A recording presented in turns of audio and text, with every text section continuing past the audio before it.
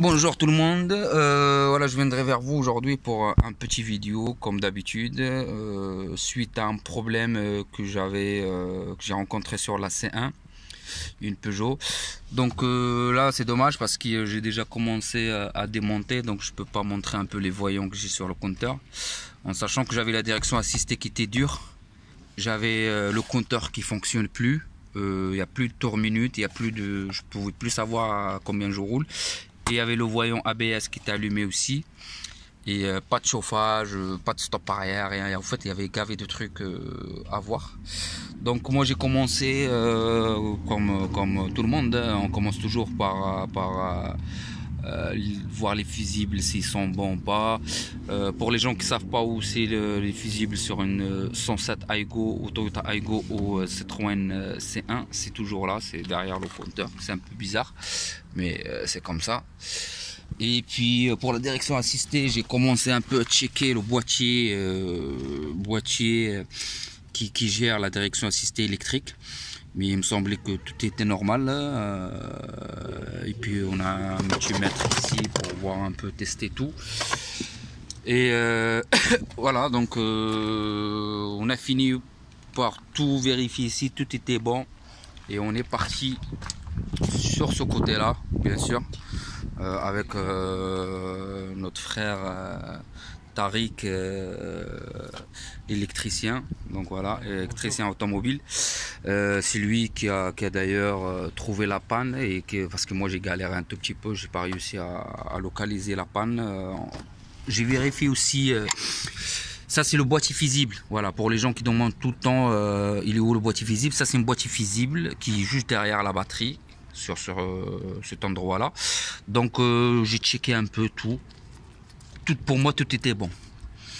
Et après euh, avoir euh, mon ami Tariq qui a vérifié un peu, parce que c'est son métier, hein. il est électricien automobile, donc il connaît plus euh, de choses sur ce côté-là que, moi au niveau de, mécanique. Donc voilà, il a, il a checké un peu tout et il a constaté que sur ce, ce câble-là, ce câble noir, il n'y avait pas du jus. Il n'y avait pas du jus qui arrive sur ce côté-là. Il m'a dit ça, c'est pas normal. Parce que c'est ce, fil-là qui transmet le, le, le, jus à l'intérieur de, de, véhicule. Donc il m'a dit normalement s'il n'y a pas de jus ici, c'est normal qu'il y a le chauffage ou tout le reste, il marche pas. Parce que c'est lui qui fait la, transmission de, de, l'électricité euh, au niveau du tableau de bord. Donc il m'a dit on va démonter en bas. Il y a un cache ici qui vient enrober celui-là.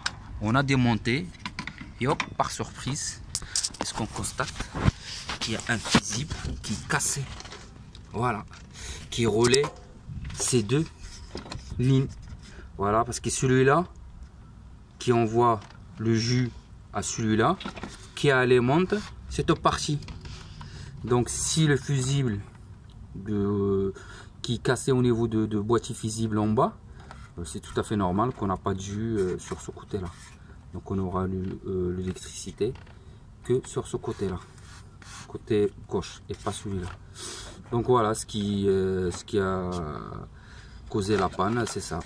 Donc voilà. On va essayer de changer ce fusible. C'est un peu bizarre. Il faut démonter les deux écrous de 10 et puis retirer les deux câbles et puis le sortir. Je sais pas où on peut trouver ça. Moi je vais le voir chez Citroën ou dans le, le au feu vert, je vais voir si je peux trouver ce genre de fusible, je, n'en ai jamais acheté.